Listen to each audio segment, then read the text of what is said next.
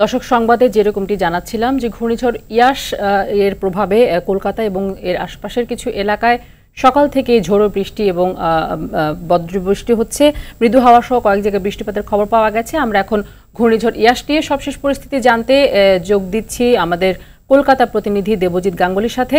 দেবজিৎ, ঘূর্ণিঝড় ইয়াস কতটা শক্তি নিয়ে উপকূলে আঘাত হানতে পারে? কোন কোন এলাকা ক্ষতিগ্রস্ত হতে পারে? এবং স্থানীয় প্রশাসনের পক্ষ থেকে কি ধরনের প্রস্তুতি নেওয়া হয়েছে? এসব বিষয়ে জানাবেন আমাদের।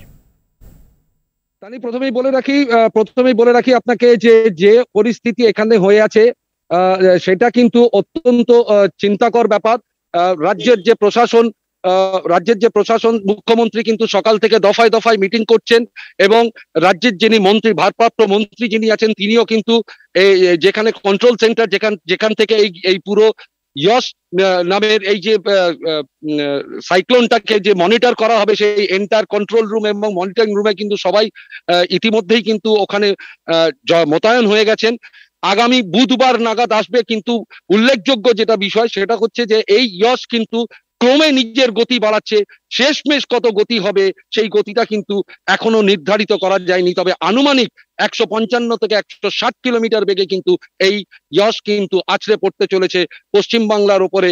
এই মুহূর্তে প্রায় প্রায় প্রায় পাঁচশো চল্লিশ কিলোমিটার দূরে আছে ইয়স এবং সেই পাঁচশো চল্লিশ কিলোমিটার অতিক্রম করতে আর চব্বিশ ঘণ্টার মধ্যেই কিন্তু আছড়ে পড়বে পশ্চিম বাংলার মধ্যে। ইতিমধ্যেই কিন্তু ইভ্যাকুয়েশন প্রসেস মানে মানুষদের ওখান থেকে সমুদ্রের পাট থেকে সরিয়ে নেওয়া।